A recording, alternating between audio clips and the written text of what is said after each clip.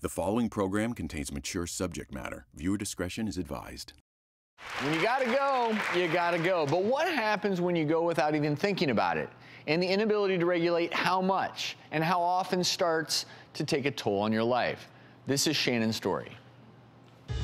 It all started about seven years ago. I would leak some urine every time I would cough or cry or laugh or sneeze. And in the beginning, I thought it was just part of having a kid.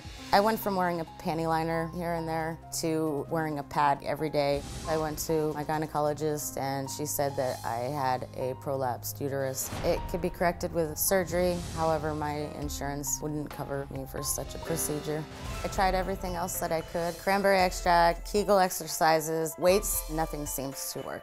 It's gotten to the point where I end up changing my pad about six or seven times a day. Even the slightest pressure on my bladder makes it leak, whether it be walking upstairs, getting in and out of the car, lifting things.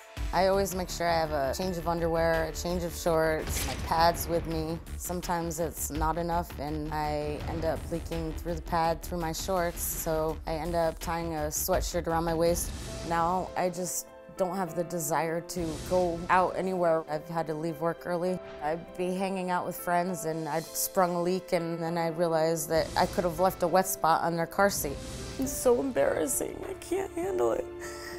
My husband of 13 years and I have just become distant and he tells me it makes no difference, but it does to me. I just don't feel like he's attracted to me anymore.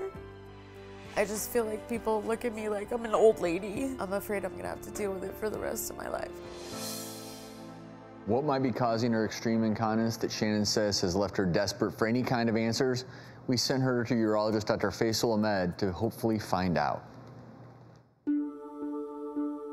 Hi, I'm Hi. Dr. Ahmed. Nice to meet you. Well, let's figure out what you're here for and get you feeling better.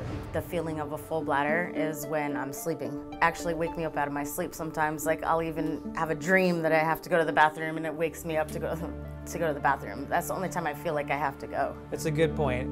How often do you wake up though? Um, probably like three or four times throughout the night. And has anyone ever put a camera inside your bladder? No. What do you think about doing some of these tests right now?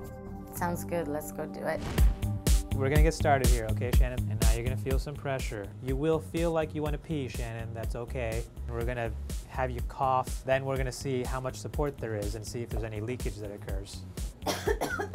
What I'm going to do is I'm going to start filling your bladder. Okay, so pretend you're watching TV. Let me know when you get that first sensation where you could go, but you could wait for the commercial.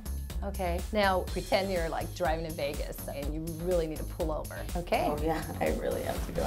That's pretty much the end of it. So next time we talk, we should hopefully be able to go over some potential solutions and treatments for you. Great, thank you.